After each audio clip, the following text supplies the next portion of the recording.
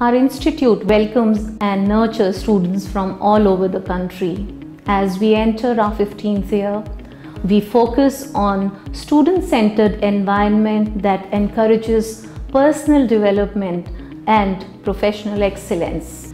As a fully residential institute, we are deeply bonded by a sense of community and a common goal as we continue the legacy of a digital Gurukul forward. Our commitment to excellence in education, learning, and research is uncompromising.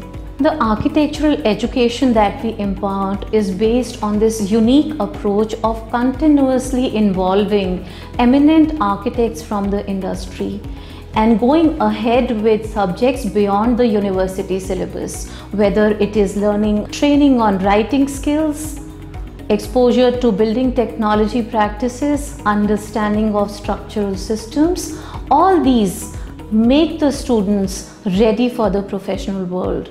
We have a fairly strong network of alumni now. Along with that, seminars, workshops, regular interactions contribute to the holistic development of the students. While uh, on one hand, we focus on the fine arts and art appreciation.